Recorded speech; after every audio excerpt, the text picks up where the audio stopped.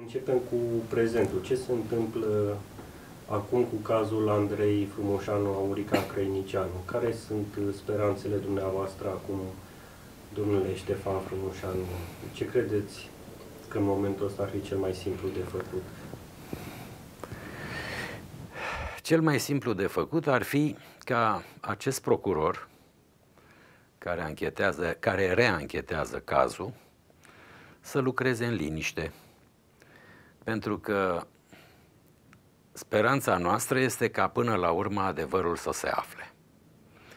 Dar, ținând cont că au trecut 24 de ani de la evenimentele triste din 25 septembrie 91, sunt martori greu de găsit, sunt anumite persoane care se lasă mai greu ca să vie la anchetă și eu spun că și instituția s-ar putea să-l oprească din când în când, uh, dându-i alte dosare. Deci... Cine este procuror acum? Dați-mi voie să nu vă spun numele. Pentru că dosarul fiind în uh, reanchetare, noi am fost anche- uh, la anchetele anterioare și la procesele care au fost, am fost acuzați mereu că facem presiuni asupra justiției. Noi făceam presiuni asupra justiției. Uh, dar am constatat că, de fapt, uh, erau niște tertipuri de amânări ale dosarului și așa mai departe, ca să uh, toate treburile acestui dosar să meargă din ce în ce mai greu și până la urmă s-a dovedit adevărat. Au trecut peste acest dosar trei președinți, acum este al patrulea, N judecători, N procurori și... Și ce probe au mai apărut? Am înțeles că s-au recuperat niște casete de la SRI. Așteptăm să se recupereze, pentru că deocamdată încă nu știm dacă vor fi date, dar uh, trebuie să așteptăm. E o carte scrisă fără patimă și fără ură povestiți faptele simplu la obiect. Cum, cum s-a născut această carte? Când v-ați gândit să o scrieți? Cum, cum ați scris-o? Ajunsese la, la un moment în care practic nu mai aveați prea multe speranțe, mă gândesc. Multă lume se întreabă de ce suntem așa de, de rezistenți. Uh, lupta asta pe care am dus-o atâția ani, mai mult eu, domnul Crăinicianu este foarte afectat de moartea soției sale. Soția mea este bolnavă, e cardiacă și am încercat ca eu să fiu cel care, hai să spunem, susține această, această luptă. Uh, necazul cel mai mare pe care l-am avut a fost când am fost anunțați de către parchetul general că vor să uh, claseze dosarul. Aceasta se întâmpla în 2011. Deci înainte de a avea verdictul de la, de la Strasburg, de la CEDO. În acea clipă m-am gândit că dacă nu scriu o carte ca să rămâie după noi și în care să explic drumul lung al acestui dosar, am și zis că poate trăim degeaba. Și am avut o revelație. Într-o seară, efectiv, am visat pasaje din carte, poate nu mă credeți, dar am visat pasaje din carte pe care trebuia să le scriu. Și atunci am pus mâna pe hârtii și am început să scriu efectiv ce visam sau ce îmi venea pe parcurs în gând. Pe urmă, Maestru Mustaț, avocatul nostru, care a fost tot timpul până la sfârșitul procesului de la tribunal, de la Curtea de Apel și de la Curtea Supremă alături de noi, mi-a spus, ce ar fi domnul Frumușianu să scrii dumneata o carte? Și culmea, aceasta s-a întâmplat la o discuție telefonică în acea perioadă. Când eu începusem deja să... Pe urmă a apărut un tânăr ziarist Laurențiu Mihu, care scrie prefața acestei cărți și care m-a îndemnat, m-a împins de la spate, pentru că mi-erau uh, foarte greu anumite momente să le redau. Adică să-ți aduce aminte după atâția ani de cele mai grozave momente, uh, te pune într-o oarecare dificultate. Și eu, nefiind scriitor, mă opream, să știți. Și mă opream câteva zile la rând. Nu puteam să mai scriu. Nu mai aveam, cum spun scriitorii, acea muză care să stea mereu lângă tine.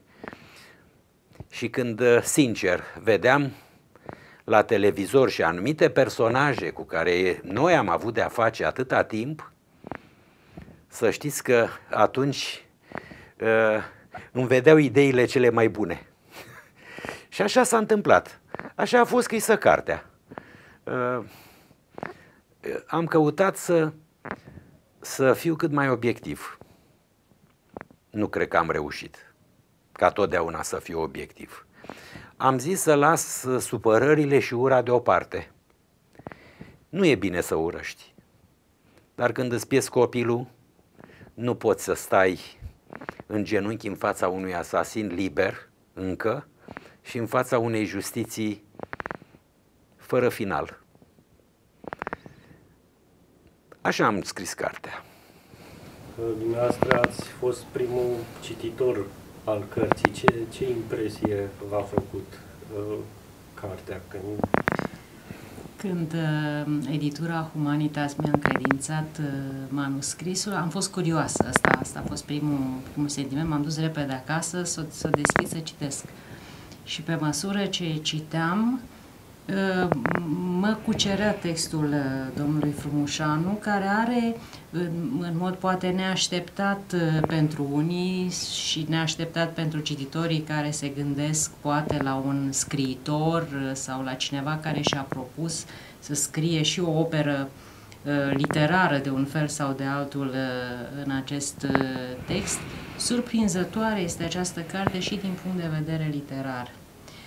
Ea comunică o, o sete de, de adevăr, de dreptate, într-un mod extraordinar, fără patimă. Deci există acea, e scrisă cu pasiune, dar e scrisă fără patimă, așa cum spunea domnul Frumușanu, ă, fără dorința de răzbunare cu orice preț. Și textul, textul te cucerește atât prin poveste, pentru că povestea este dramatică, este dramatică în multe feluri. Este dramatică pentru că să-ți pierzi fiul în situația în care l-a pierdut domnul Frumoșanu în uh, septembrie 1991 și apoi timp de peste 20 de ani să încerci pierdut, cum chiar domnia sa spune în carte, pierdut prin labirintul justiției, să încerci să afli cum a murit, de ce a murit, de ce a trebuit să moară, cine l-a omorât, nu e, nu e lucru ușor. Pe de altă parte, deci o poveste puternică, dar și un mod, un mod de a o spune cu uneori cu duioșie, alteori cu domnul Frumușanu face și mici portrete ale oamenilor pe care îi întâlnește de-a lungul celor 20 de ani și printre care, uh, cum ați constatat, desigur, și cum vor constata cititorii, se află uh, nume mari ale politicii uh, românești post-decembriste din anii aceia 90 și mai târziu, președinți ai României, procurori generali, procurori militari, prim-ministri, miniștri, domnul Frumușanu face uh, cât un scurt portret uh, fiecăruia sau celor mai, mai importanți care uh, arată o, o extraordinară intuiție și ochi, cum se zice, ochi, are ochi la oameni. Îi, îi vede, îl, îl citește pe fiecare și povestește așa cum l-a, l-a văzut. Sau mai are uh, uh, mici uh, fragmente de, de umor sau de autoironie. Mai povestește în timpul nenumăratelor, cred că au fost, nici nu mai știu, domnul frumos, au fost zeci, sute de audieri de-a lungul uh, acestor ani și câteodată spune, uh, zice, așa eram de furios că Mi-am, simțeam mâinile și picioarele înghețate. Sau, din potrivă, simțeam că trebuie să fumez o țigară. Așa era, așa mă, mă mâniasem. Sau, în timp ce uh, un martor era audiat, zice, mă uitam spre uh, împricinat, spre, uh, spre uh, prezumtivul asasin, cum, cum mi se spune în, în carte. Și Ca să le văd să, mina fețelor. Exact, să văd ce, ce e pe fața lui. Deci această carte, asta vreau să spun, că e, e cuceritoare în multe feluri. E cuceritoare și interesantă pentru cei care cunosc bine cazul și care l-au urmărit de-a lungul anilor. Este un manual o carte de istorie recentă extraordinar de interesantă, cu date, cu informații pe care unii, unele le știam, altele nu.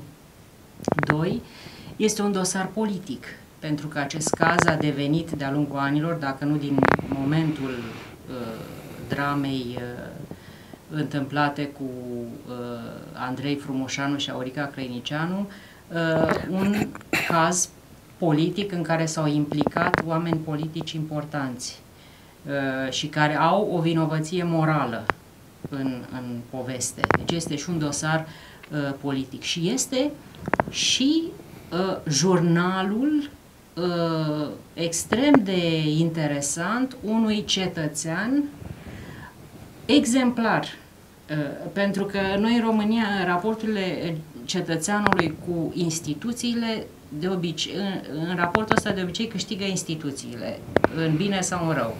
Adică omul se plictisește sau e atât de disperat sau e atât de hărțuit de birocrație, de lentoare, de nepăsare, încât până la urmă renunță. Într-un fel sau altul renunță. Ei nu, domnul Frumușanu a avut această uh, extraordinară forță și pentru că are încredere și din carte se vede asta are încredere în instituțiile așa cum sunt ele.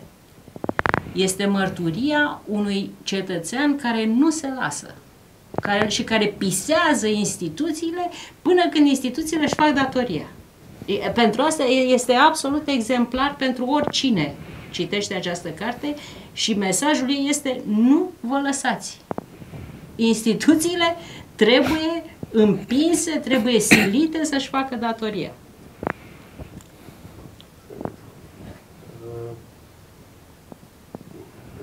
nominalizați pe Ion Iliescu ca fiind uh, vinovatul moral pentru cele două crime. Uh, explicați-mi, vă rog. Viziunea mea. Da. Uh, nu mai este o taină că Ion Iliescu este vinovat de absolut tot ce se, ceea ce s-a întâmplat în acei 10 ani cum, cumpliți. Deci, anii 90 sunt, dacă vreți, anii vinovăției lui Iliescu. Și uh, am fost fătuit cândva, pentru că acest dosar a trecut prin toate justițiile. Justiția lui Ion Iliescu, justiția lui Constantinescu, justiția lui Băsescu, justiția acum lui Iohannis. Dar spuneți în carte undeva, sunt, sunt, că sunteți încredințați că președintele Iliescu veghea asupra dosarului. Da, nu e, nu e niciun secret. De ce? Pentru că s-au întâmplat foarte multe chestiuni în acest caz, legate, cum a zis și doamna mai devreme, de politic. Uh, nu trebuie să uitați că uh, acest Gabor l-a protejat, atenție, la Revoluție. Deci a fost garda lui de corp la Revoluție în vestita televiziune. Uh, pe urmă, acest Gabor a fost folosit de SPP pe vremea când uh, de-abia se înființase și ajunsese capitan, și iar nu e o taină pentru că dosarul a fost public. Uh, a fost folosit de Dumitru Iliescu și de, bineînțeles, Ion Iliescu la mineriada din 13-15 iunie. Îmbrăcat în civil, cu cască în cap, deci îl foloseau în mod mascat și a avut un proces, uh, a avut o anchetă în acest sens uh, făcută de către parchetul militar. Și a fost foarte ușor disculpat, deoarece a spus că uh, a fost trimis la Intercontinental, toți minerii îl salutau cu domnul inginer, că avea acea, acele veșminte cu cască galbenă, îi se spunea domnul inginer, dar că a fost trimis acolo ca să-i protejeze pe cei care se aflau în clădirea, erau niște demnitari din străinătate, ca să-i protejeze pe cei care se aflau în, la Inter. În schimb, sunt martori care spun că, de fapt, acest fals inginer, în ghilimele inginer, îi lua după stradă și spunea luați-l și pe ăsta, luați-l și pe ăsta, luați-l și pe ăsta și îi preda uh, dubelor. Deci, din această cauză, care ar mai fi cauzele că Ion Iliescu este implicat în acest proces? Uh, nu trebuie uitat că la Curtea de Apel, cel care a spus că o carte scrisă de procurorul militar Surdescu este neconstituțională. Domnul procuror săracuș își dăduse, uh, se extrăsese din proces, să retrăsese din proces, uh, cartea a tipărit-o mult mai târziu și uh, spunând că acea carte a influențat și părțile civile și vătămate, și presa, și justiția, și absolut tot. Deci acest stătic al Constituției, care venise, să, venise să-l apere din punct de vedere constituțional, deci la Curtea de Apel a avut doi avocați. Nu trebuie uitat că acest Iorgovan, uh, în timpul ședințelor, insulta, vorbea urât, ne bălăcărea și nu numai pe noi. Ne-au făcut oameni ai străzii, a amenințat justiția, vă arătăm noi justiție când uh, o să venim la putere, trebuia să intre la pușcărie, trebuie să intre la pușcărie procurorul Surdescu, nu Gabor și așa mai departe. Bun. Uh, nu trebuie uitat că de aici, în urma recursului făcut de uh, ambele părți, atenție, atât de noi cât și de parchet, la Curtea Supremă de Justiție, acolo soția lui era judecător și se numea Iorgovan Maria. Deci sunt niște legături care te pun în, în cumpănă. Dacă acest dosar va merge pe o linie dreaptă și bună sau va fi în labirintul ăla în care spun eu în carte. Lucru care s-a dovedit. Pe urmă nu trebuie uitat că la un interviu deci totul se învârtește în jurul acestui Ion Iliescu. La un interviu, uh, o uh, reporteriță foarte tânără și drăguță, Roxana Iordache, la momentul respectiv, l-a întrebat direct. Asta este, e de antologie. Uh, domnule președinte, dar ce părere aveți că se tergiversează dosarul Frumușanu Crăinicianu?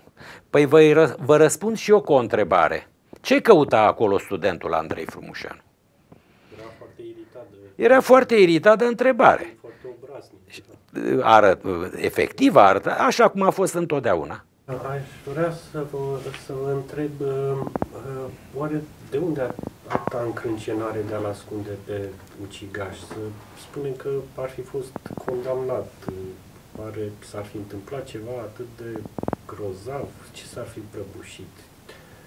Uh, există o conștiință a complicității, exista atunci o conștiință a complicității atât de puternică. Uh, cum, cum se poate explica efortul ăsta de-a lungul atâtor ani de a acoperi, de a mușamaliza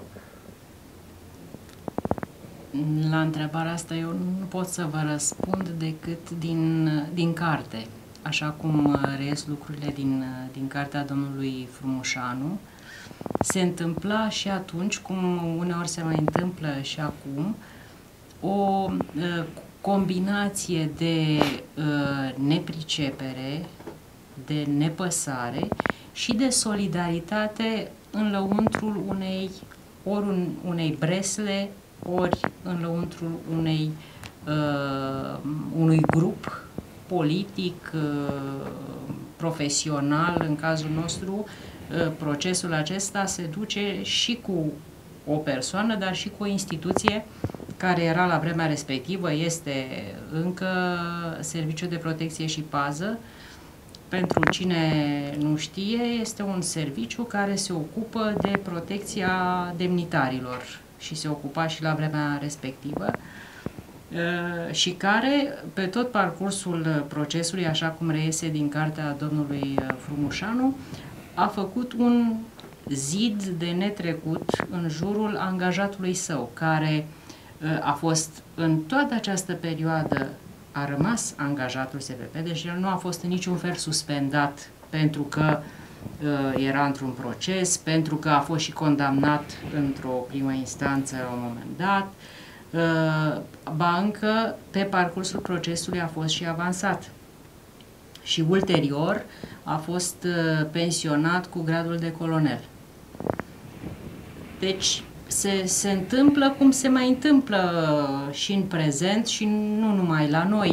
Se întâmplă că grupul uh, din care face parte respectivul uh, uh, prezumtivul vinovat se solidarizează în jurul lui și în felul lui pune obstacole în calea aflării adevărului, fie prin, cum s-a întâmplat și cum domnul Frumușanu povestește în carte, fie prin neprezentarea la audieri, fie prin uh, falsificarea de documente din perioada respectivă, din uh, perioada septembrie, octombrie, noiembrie 1991, fie Uh, prin uh, mărturii false sau contradictorii, uh, fie prin intimidare în instanță, prin diverse strategii și tactici de a descuraja până la urmă aflarea adevărului sau condamnarea celui care este vizat. Da, e stupefiantă declarația purtătorului de cuvânt al SPP citez, SPP îl consideră pe ofițer nevinovat. Pentru, pentru noi astăzi e incredibilă da. uh, a, disprețul ăsta pentru statul de drept.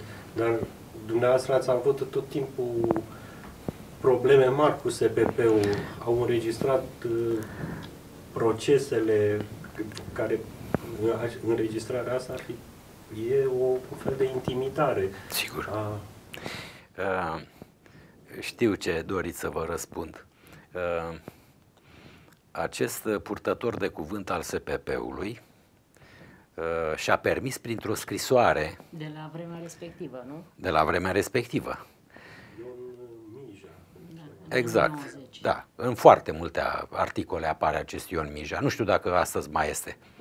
Nu știu dacă este. Uh, dar uh, prin uh, consilierul juridic al uh, SPP-ului au trimis o adresă aproape de sfârșitul procesului, care pur și simplu este, asta a plecat la Strasburg, să știți, pentru că este incredibil să vezi așa ceva. Deci să fie oameni ai SPP-ului în clădirea guvernului, să fie prezumtivul asasin în clădirea guvernului, să fie văzut cărând muniție și fel de fel de efecte militare și în acea scrisorică care era foarte scurtă, scrie Vă comunicăm că în data de 25 septembrie 1991, secția antiteroristă a SPP, al cărui șef era Gabor Dorel Vasile, cu șeful său, colonelul Sarău, el fiind șeful brigăzii și ăla șeful secției antiteroriste, nu au purtat acțiuni în clădirea guvernului. Deci, când s-a citit această scrisoare de către președintele completului, pentru că a cerut-o, de ce? Pentru că așa cum am scris mai devreme în carte, uh, au ars documente, nu au prezentat documente și s-au făcut într-un termen ilegal de două luni de la întâmplarea faptelor. Au existat și falsificări de documente. Chiar. Falsificări de documente, sigur că da. E, noi sperăm ca toate acestea, dar, dar, ce mai trebuie spus? Atunci justiția era așa cum ne luptăm noi de ani de zile și cum își doresc și cetățenii astăzi.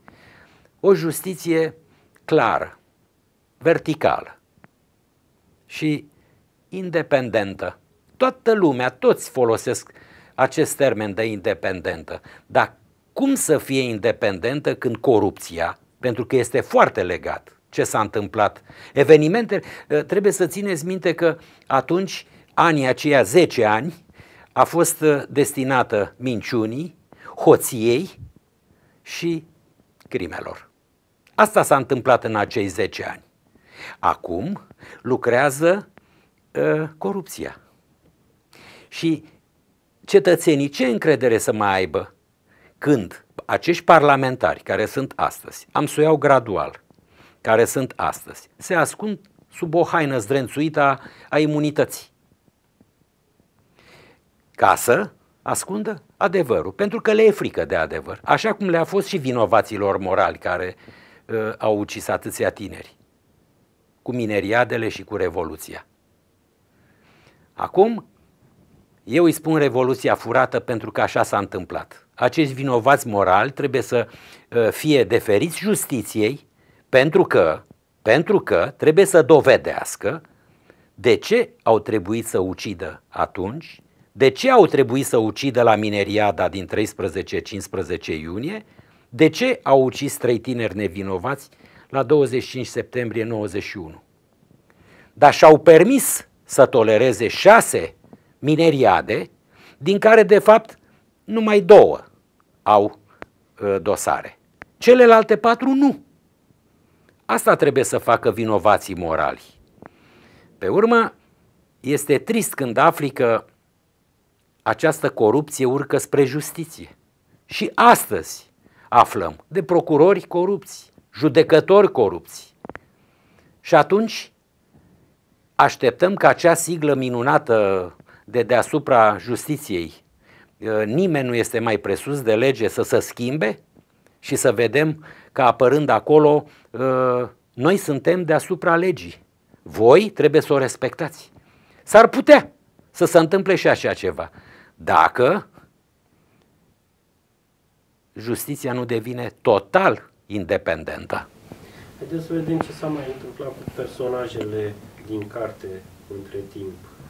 Uh, presupusul ucigaș Dorel Gabor, am înțeles, e pensionat cu grad de colonel. N-a avut până acum nicio problemă. A, a fost o anchetă internă în SPP pe... Nu, n-am auzit de așa ceva. Procurorul Gheorghe Surdescu, cel care... Da, care a instrumentat cazul. Într-o primă fază și... Nu, în toată faza. Deci de la început și până la returnarea dosarului.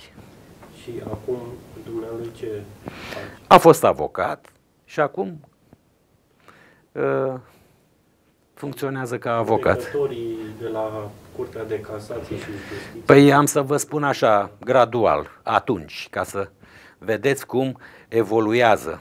Deci, Domnul Panaitescu a fost avansat la gradul de general în clipa în care s-a interzis filmarea, atenție, filmarea acestui proces, a fost avansat la gradul de general domnul, Panaitescu? domnul colonel Panaitescu, care a fost președintele Tribunalului Militar Teritorial, după domnul Lucescu. A ajuns uh, șeful directorul general al parchetelor militare din minister, din Ministerul de Justiție. Acum este avocat. A ieșit la pensie și este avocat. Așa, cred că l-ați văzut pe posturi pe aici pe acolo. Uh, a fost un om deosebit. Dar așa s-a întâmplat. Uh, ce să vă mai zic? Domnul Iorgovan. Domnul Iorgovan uh, a ajuns senator în anii 2000, că de fapt asta a și încercat cu amânarea la infinita dosarului și retrimiterea lui, uh, a ajuns senator PSD și Dumnezeu să-l odihnească, astăzi nu mai este printre noi. judecător Eduard Judecatoarea. Judecătoarea, judecătorul Eduard Popa este și el avocat, dar am auzit că are o sănătate foarte precară de fapt cum era și ca judecător, foarte, foarte precar în meseria respectivă. Uh, doamna Popescu Iuliana, judecătoarea care a transmis uh, din nou dosarul, l-a retrimis uh, parchetului militar teritorial. Dumnezeu să o odihnească. S-a prăpădit. Uh, ce să vă Dacă mai spun? permiteți, este interesant că o parte dintre personajele cu care începe cartea în, după septembrie 91 și care erau atunci uh, în diferite uh, stadii de avansare în cariera lor, uh, mai ales magistrați, devin uh, treptat fie avocați, fie oameni politici. Acestea două sunt ramurile către care uh, se A, am mai uitat un personaj foarte important. Deci, a- m-ați întrebat de domnul Eduard Popa și mi-am adus aminte că șeful lui, șeful, par, șeful curții de apel, era generalul Bădoiu, care a ajuns și el senator tot în anul 2000, alături de domnul Iorgovan. Deci, aici sunt și ceurile drumului acestui dosar. Cartea este un, uh, este un, uh, de fapt, o carte manifest. Așa am, am, am hotărât eu să-i spun. O, hart, o carte manifest. De ce? Are un mesaj către cititori și cetățeni, un mesaj către justiție și un mesaj către tineri. Și dacă îmi permiteți, o să citesc eu un mic fragment din acest uh, uh, apel pe care îl face domnul Fumușanu uh, și care zic că e binevenit și foarte actual. Zice așa spre final. M-am hotărât să scriu această carte pentru a le arăta celor din justiție și celor care ne conduc că noi, cetățenii, suntem mai puternici decât ei când dorim aflarea adevărului și a dreptății și când purtăm cu demnitate crucea grea a vieții. Спасибо.